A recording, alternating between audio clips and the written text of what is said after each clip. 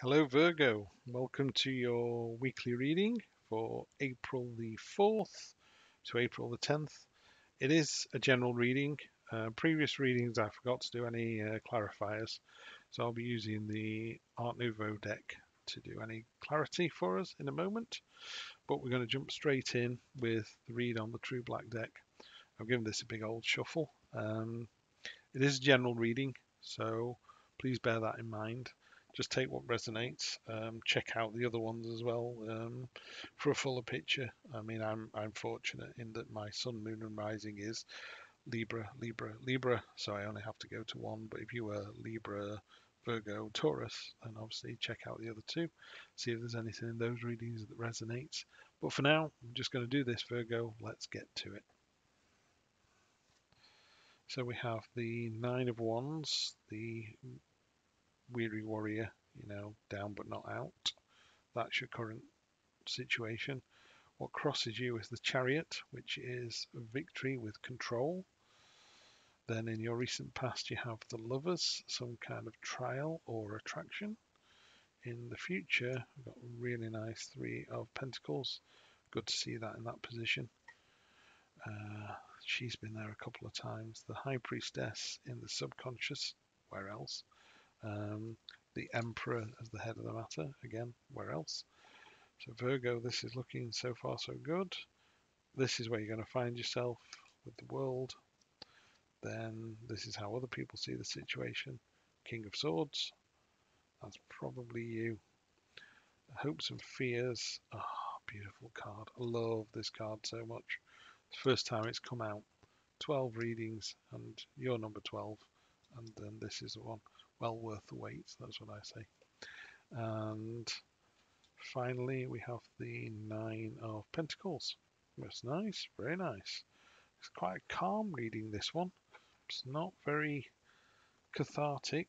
And on the bottom, we have the Page of Cups. Page of Cups. Took a while to work that one out. Uh, beautiful, sensual, loving, caring, nurturing. So this is a lovely soft energy for me to finish these reads off on. So thank you for that, Virgos. That's really nice. Um, so we'll just go through these first of all, and then we'll get some clarity.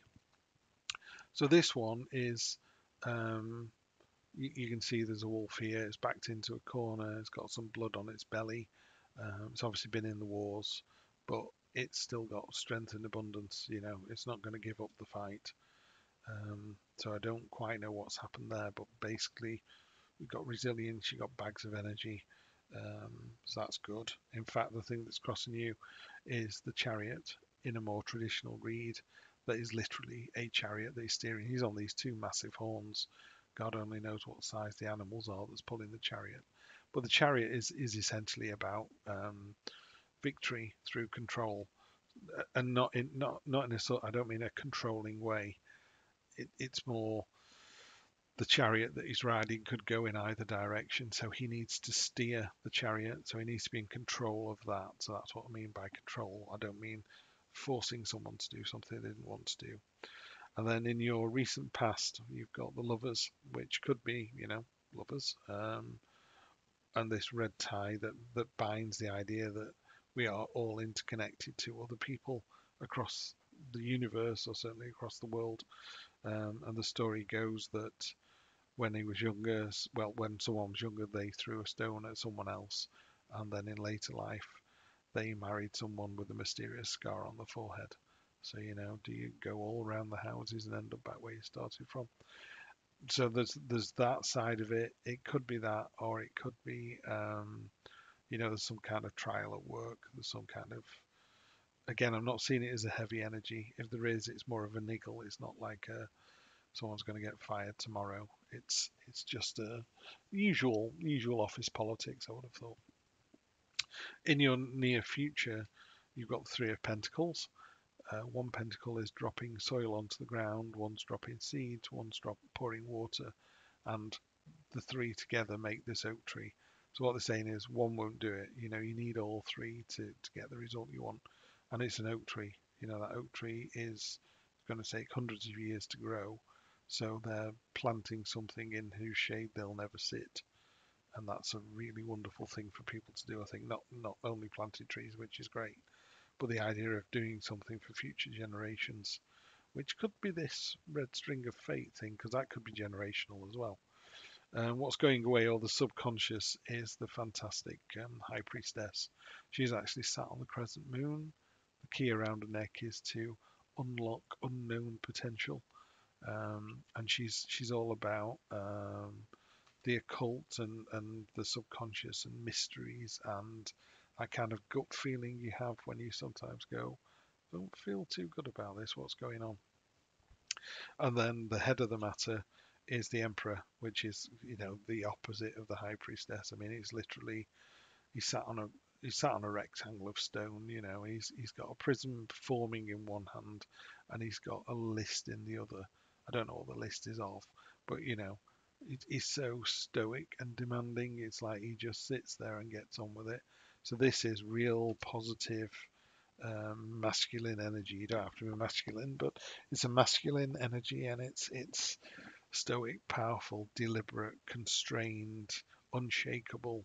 You know, it, the the kind of um, calm before the storm. No, there's no storm. That's not fair. That's not what it is at all. Just that calm demeanor. You know that and that that uh, understated power. There you go. You know, some people go, "Do you know who I am? Do you know what my title is?" Whereas other people are lovely, and then when they walk out of the room, you go, "You do know he's the CEO of the company?" Oh, really? He was so nice. He was telling jokes. Much better person. You know, that's that's all the best qualities of the emperor. That kind of, you know, she's she's able to wield the power, but she does it in such a way that it doesn't it doesn't belittle anybody. It's a, it's a really positive card, and in that position as well is really powerful. And again, you know, to go from the Emperor to the Three of Pentacles down to the World is like bang, bang, bang. Or even if you're going there to there to there. So this is where you find yourself. So this is where you see yourself, which is the world, which is a new chapter. The Fool goes all the way through his adventure he meets the devil, he meets the hanged man, he meets the lovers. He has various trials and tribulations and, and comes to find himself through all of this. And it ends with the world, you know, and that's cycle one complete. I think of it as a um, you you almost pass the test or not, and it goes, congratulations, proceed to level two, or he goes, uh, uh try again, you know, and the the fool may go back around and try again. Um, so yeah, that's where you find yourself, which is really, really good. This is how other people see you, and they see you as as rock solid. You know, um, the sword is buried into the ground there; it's not going anywhere. Um, you're wearing a black cloak. It's very stoic. It's it's, it's got a feeling of being heartless, which is not. There's there's even a, a polished gold marble in his chest there to prove that he's got a heart. He's wearing a crown of swords because he wants to remind himself that swords cut both ways. And then this is larva and butterflies, which is the the animal of the swords. Um, and again, that's that transformation from concept to the concept of an idea, the germ of an idea, the generation that turned into this beautiful thing.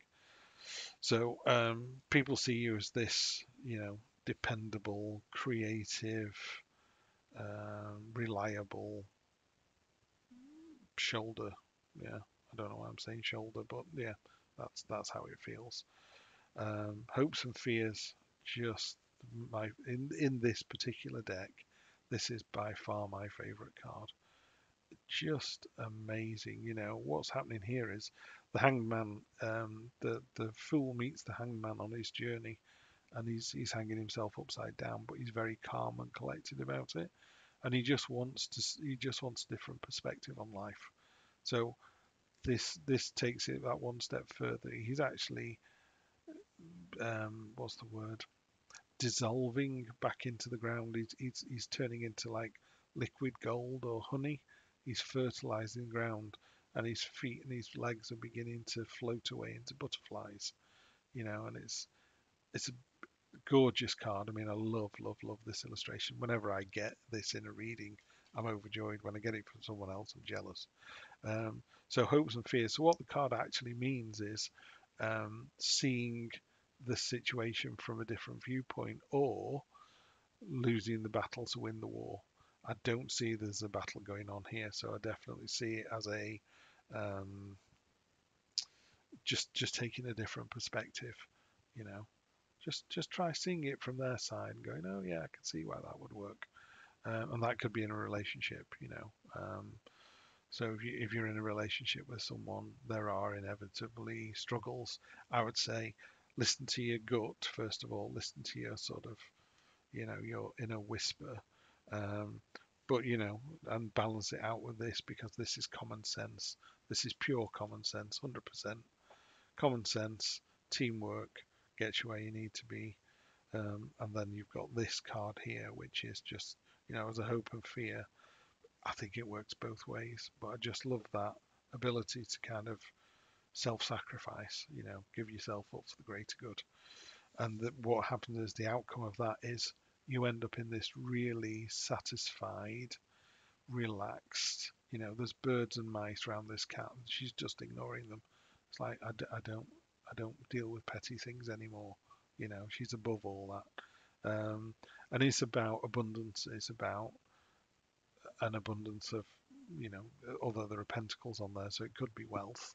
Um, just just that abundant joy, abundant knowledge, abundant sharing, you know, and she's so cool, calm, and collected about it. It's not flashy, it's classy. So, uh, yeah, Virgo, stay classy, Virgo. Look at you guys. What happened there? Um, so, really good read, really good. So, we're going to clarify with this card. So, we have the Queen of Pentacles, um, in touch with nature, in touch with her true self.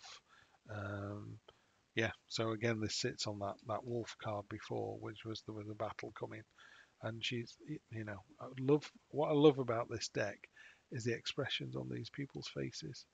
You know, it's like you're not going to mess with that woman. She's like so nailed down. Yeah, she she knows she knows. Uh, what's crossing it? Best card in the deck, the sun. Just you, you could stop the reading there, Virgo. Um, yeah, just great. Whatever the issue is, it just gets burnt away by the sun. Uh, recent past, um, uh, teamwork makes the dream work. You know, the architect, the monk, and the craftsman, they all need to come together to create that that thing there. And because they do, the, the fantastic end result. So yeah, work together, re- relationship or work, and it's much better. Two and two make five. Near future, the hermit time for a bit of soul searching maybe you know just just step out get some time to yourself um, focus inwards rather than outwards and again it's time to kind of soak up some knowledge as well which sometimes comes from just doing that you just take a beat just step out of the the rat race um, and just just you know look inwards i would say uh, okay very definitely the end of something here, um, but that's going away. But that is most definitely the end of something. Anyone with 10 swords in the back isn't getting up again. But the dawn is coming up. So it always tells us the tarot what goes around comes around and it's cyclical and tomorrow is a new day. So don't worry about that. That's going out of your life anyway. On top of the Emperor, we've got the Five of Swords, which is um, it's become a training exercise, but it could be conflict. Um, but even if it is, you're the person in the white shirt. You know, you're winning. You're knocking the other fella down uh, confidently. So the only the only downside I think with this card is sometimes we go, really, do we have to fight again? You know, I'm going to win. Even though you win, it just kind of drains you a little bit. Um, but with that Emperor energy on top of it, I think you know where you're going to come out victorious. Um, so yeah, yeah, just see how you get on with that. You may be challenged, um, but it won't last long. You know, someone might try and stand up to you for some reason, and you'll just you know be the better person. Uh, outcome on top of the world is going to be hard to beat the world there. But let's see what it gives us. Yeah, uh, Eight of Pentacles basically showing off your skills. Um, again, if this was a love reading, it would be like, aren't I, you know, aren't I a fantastic partner? And everyone will go, yeah, we can all see that you are. You know, you can see he's displaying his craft there. Yeah, for all to see. That's a nice card to sit on there. On top of the king, we have the three of wands. That's the entrepreneur. Well, one of the entrepreneur cards. It's um, the in the two he sort of set out his stall, and now in this one, he's he's got two in in the two of wands. He's planted one in the ground, and he's got one in his hand. Now he's planted two in the ground, and he's got one in his hand ready to go again. So he's kind of expanding your business empire, or if it was in a relationship, it was like this is where we were, this is where we are now, and it's continuing to grow and develop the relationship. So great card, great card. And then on top of the hangman, hope Sophia's come up again. The fool, you know, you've got the sun and the fool and the hangman. These are all like my favorite favorite cards. Um, if you don't know about the fool, he's about to leap off into the abyss. He doesn't care what happens. The dog's barking at him like there could be a hundred foot drop, and the fool's like, oh, I'll be fine, you know. The kind of bloke that says, I fancy going to Hong Kong, and you go, Where's Dave? And he went, He went to Hong Kong on Wednesday. It's that kind of attitude, you know, leap in with both feet. Um, it's card zero in the tarot, and it stands for all or nothing, you know. He's he's just going to go off and have an adventure, and he does, you know. He meets the devil and judgment and the lovers, and he meets all of the and the hanged man um, which he's meeting there. So again, it's uh, yeah a great reading, Virgo. It's time to jump in with both feet. Uh, you've got this. And then finally, yeah, Knight of Swords. There's going to be a bit of movement towards the end of the month. Um, not without a, um, a certain amount of frisson that goes with it. You know, I mean, none of the sword cards are um, gentle. Uh, you certainly know when, when a sword sword energy is in the room, you know. Um, and they don't mean ill by it, but they can sometimes be a bit oh, whirlwind. Um, on the bottom of the deck with this, we've got the Nine of Swords, which is the Nightmare card. She's having a horrible dream about these swords chopping her up, but of course it's just a dream. So again, I reiterate over and over again when I get this card, it's just a dream. It doesn't really happen. So I think the end of the month you've got you've got two. Well, the, there are two things. End of the month, end of the week for the outcome. You've got this, you know, stay classy, um, but also, you know, there's there's an opportunity to kind of leap in and save the day.